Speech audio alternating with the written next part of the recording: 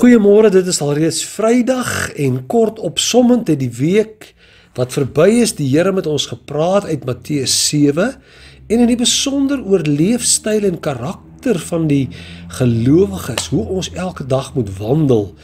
En die Here het in die begin met ons gepraat uit Matteus 7 waar hy gesê het ons moenie oordeel nie.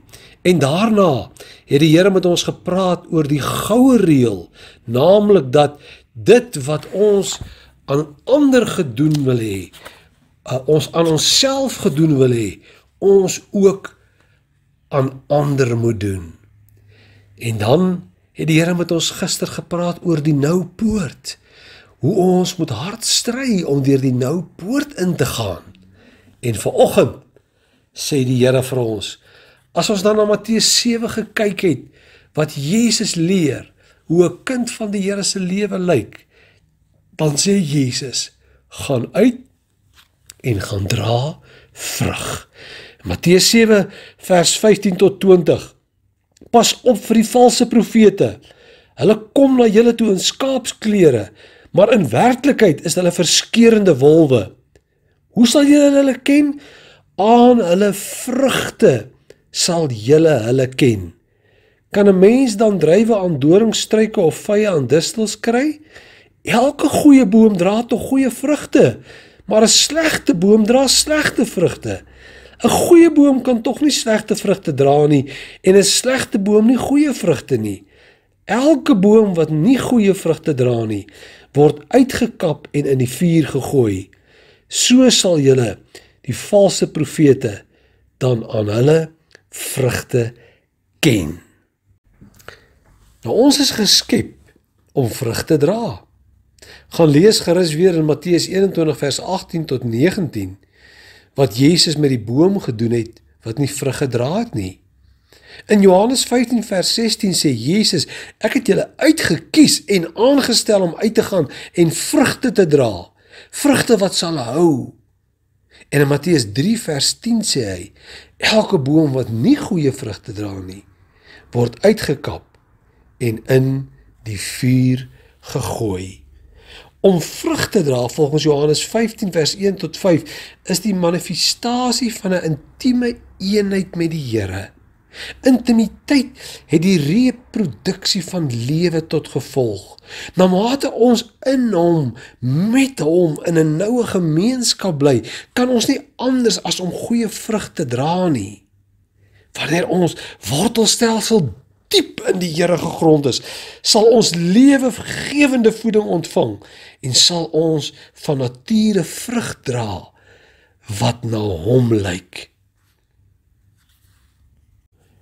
Die vrug wat die Here by ons soek is in die eerste plek die vrug van persoonlike heiligheid.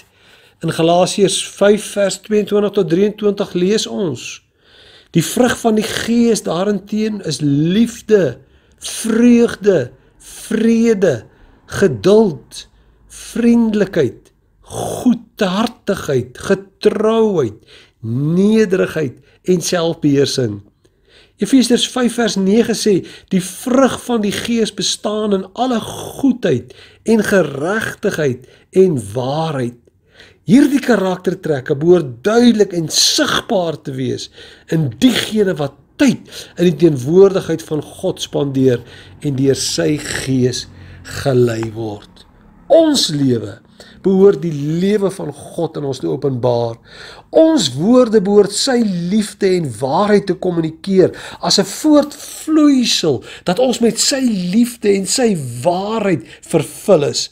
Ons woorde is die ooglopendste vrug van ons lewens en openbaar wat in die innerlike mens uh, aangaan. Jesus sê in Matteus 12 vers 33 tot 37 dat die mond oorloop waar die hart van vol is. Spreuke 10 vers 11 sê: Die woorde van die regverdige bring lewe en geluk. Die woorde van die regverdige is 'n fontein van lewe.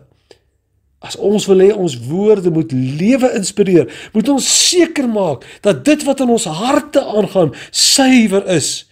Ons moet in belydenis leef ten opsigte van ongeloof, hoogmoed en bitterheid. Ons moet die Here toelaat om die wonde in ons siele te genees wat tot gevolg het dat ons verdedigend en kwaai reageer. Ons kan nie toelaat dat gruwe opstapel nie. Dit besoedel ons fonteine van lewende water. Ons moet in vergifnis met almal leef. Spreuke 10 vers 21 Voed ons lippe ander? Is dit die moeite werd dat mense na ons luister? Die sleutel tot waardevolle lewende gewende dinge wat ons sê, lê in die vervulling met die Here self. Spreuke 18 vers 21 sê: Die tong het mag oor lewe en dood. Die wat lief is om te praat sal die gevolg daarvan dra. G.D. Watson sê in sy boek Soul Food: Om praat siek te wees is uiters vernietigend vir diep geestelikheid.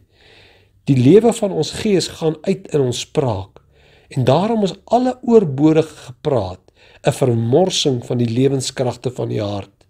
In die groei van vrug verhoed oormatige bloeisels 'n goeie opbrengs en verhoed dikwels selfs enige vrug en deur praatsig hardloop die siel wild rond in woordbloeisels en dra geen vrug te wees nie. Om praat siek te wees is een van die grootste struikelblokke tot 'n die diep onbeweeglike hegte eenheid met God. Verder is ons geroep om die vrug van goeie werke te dra. Kolossense 1 vers 9 en 10 sê julle in elke goeie vrug werk vrug mag dra. Volgens Efesiërs 2 vers 10 het hy ons daarvoor geskape om goeie werke te doen. Lees ook 1 Johannes 3 vers 16 tot 17 waar Paulus ons aanmoedig om oorvloedig te wees in goeie werke, gereed om te gee en gewillig om te deel. Ons moet ook besef dat om vrug te dra uh, is daar 'n snoeiproses en gaan lees in Johannes 12 vers 15. In die snoei seisoen lê God vir ons 'n rustheid op wat ons toelaat om nader aan hom te beweeg en om in die innerlike mens verryk te word. Sy doel is dat ons meer vrugte van kwaliteit kan dra. Dit is 'n tyd van afsondering aan God, weg van ons bediening aan mense en na bediening indirek na hom. Dit is soms moeilik en pynlik. Maar as ons dit kan volhard, gaan ons goeie en gesonde vrugte dra. In die laaste plek wil die Here ook hê dat ons die vrug van redding sal dra om ander tot geloof in Jesus te bring. En wanneer ons die boek Handelinge sien, sien ons die apostels het vrug gedra oral waar hulle mense teëgekom het na die Here gelei. In Handelinge 2 lees ons 3000 op een slag. Handelinge 11 vers 24 'n aansienlike groep het tot die geloof gekom. Handelinge 17 vers 12 sê baie het gelowig geword. In 1 Korintiërs 9 is Paulus bereid om enigiets moontlik te doen om mense vir Jesus te wen. Spreuke 11 vers 13 Die vrug van die regverdige is 'n boom van die lewe en hy wat siele win is wys. Luister vanmôre na Psalm 92 vers 13 tot 15. Die regverdige is geplant in die huis van die Here en hy sal groei in die voorhoof van ons God. In die grysse ouderdom sal hulle nog vrugte dra, sal hulle gesond en groen wees. Ons sal nooit te oud word om vrug vir God te dra nie. Hy het geen aftreeplan vir ons lewe van om vrug te dra nie. Here nou sluit ek hierdie week met 'n gebed af en vra dat al hierdie pragtige beginsels uit u woord wat u vir ons geleer het, vir ons genade sal gee om die vrug te dra soos u dit in ons lewe soek. Ons kyk uit na die naweek wat voor ons lê, Here, dat ons weer ook 'n besondere tyd met u gaan hê Sondagoggend en ons wy onsself aan u en ons is bereid om te reageer op die waarskuwings uit die woord van die Here wat U in hierdie week vir ons gegee het. Amen.